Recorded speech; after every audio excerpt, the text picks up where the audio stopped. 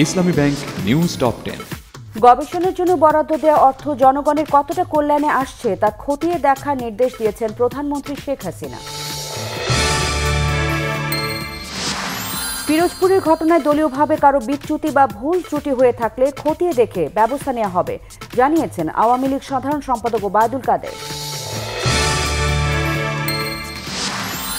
অর্থমন্ত্রী আহমদ মোস্তফা কামাল বলেছেন, ব্যাংক ঋণের সুদের হারের কারণে ব্যবসা খাতে নানা সমস্যা তৈরি হয়েছে। সুদের হার বেশি হলে শিল্পায়ন হয় না, তবে সাবেক গভর্নর ডক্টর সালেউদ্দিন আহমেদ বলেছেন, ব্যাংক ঋণের সুদের হার বেঁধে দেওয়া সঠিক হবে না।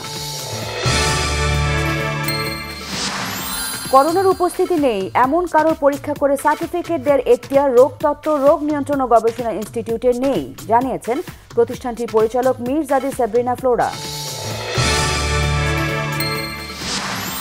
করোনা ভাইরাসে চীন সহ বিভিন্ন দেশে মৃতের সংখ্যা বেড়ে তিন হাজার দুশো পঁচাশি জনে পৌঁছেছে।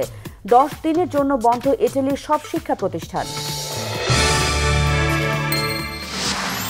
খাগড়াছড়ির মাটিরাঙ্গার ঘটনায় নিহত চারজন সহ উনিশ জনের নাম উল্লেখ ও অজ্ঞাত ষাট থেকে সত্তর জনের নামে মামলা করেছে বিজিবি। আধিপত্য বিস্তারকে কেন্দ্র করে চট্টগ্রাম বিশ্ববিদ্যালয়ের ছাত্রলীগের দুই গ্রুপের সংঘর্ষ হলের দরজা, জানালা ভাঙচুর। অন্তত সাতান্ন জন আটক। ঢাকার বাইরে প্রথম ই পাসপোর্ট বিতরণ চালু গাজীপুরে। উন্মুক্ত হল বিদেশগামীদের অধিক দ্রুত গতিতে ইমিগ্রেশন অতিক্রমের সুযোগ। করোনা ভাইরাসের আতঙ্ককে পুঁজি করে দিল্লির হত্যাকাণ্ড আড়ালের অপচেষ্টায় নেমেছে ক্ষমতাসীন বিজেপি সরকার। অভিযোগ মমতা বন্দ্যোপাধ্যায়ের।